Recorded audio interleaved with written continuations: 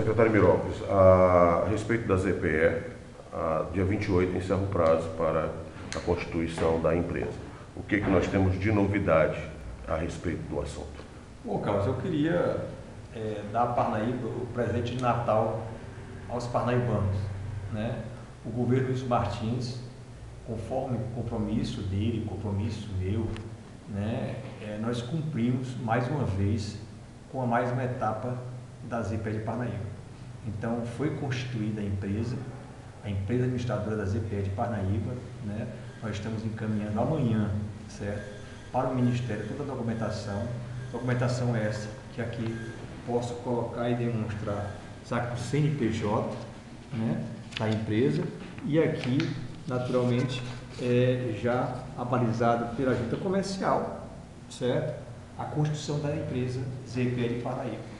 Quem então, vai... isso, isso nos traz muita felicidade e realmente é uma felicidade conjunta com o governador para a cidade de Parnaíba. O vice-governador Zé Filho informou que o, a FIEP entrou como uma parceria, né, como cotista da empresa, comprando 10% das ações e já depositado 100 mil reais na conta da empresa.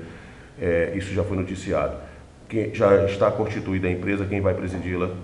Bom, é, a, a, vice-governador eleito, deputado estadual Filho, é um parceiro, é uma pessoa que acredita na ZPE de Parnaíba e sempre tem, demonstrado o interesse de participar. Pela rapidez, pela agilidade dos prazos, certo? E pela vontade que a Federação das Indústrias, representada por ele pelo seu pai, Antônio José, de demonstrar, de participar, efetivamente ajudar, né? compôs com o governo do Estado né? a composição dessa empresa. Essa empresa é uma empresa de economia mista.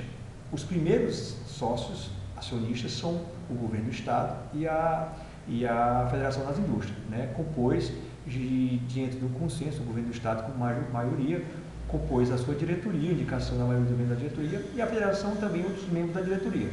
Agora, isso eu quero dizer, a Associação Comercial e outras instituições que queiram integrar o capital e queiram se associar à empresa, naturalmente vai ter a oportunidade, com o capital aberto, de integralizar e ajudar né, dentro dessa concepção da ZPE. Agora, as, as, as primeiras é, é, instituições que, que deram a criação realmente da ZPE foi a Federação das Indústrias, é, com 10% do capital, e o governo do Estado com 90% do capital.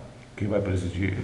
É, eu tive o prazer né, de ser escolhido né, pelo governador Wilson Martins, a presidir o conselho de administração e presidir o conselho e presidir a, a diretoria, a presidência da empresa, né? Então, ficou conosco a responsabilidade, nós que estamos nisso envolvidos desde o início, desde a prefeitura, que as coisas estavam meio paradas, quando chegamos, demos o dinamismo necessário para que as coisas andassem e, graças a Deus, cumprimos mais uma vez com o dever de homem público, com o dever é, de cidadão de, de dar a Parnaíba mais uma etapa da ZPE. E acreditem, a ZPE ela é uma realidade e ela vai acontecer, porque nós estamos empenhados, o Wilson Martins está empenhado para que isso venha acontecer.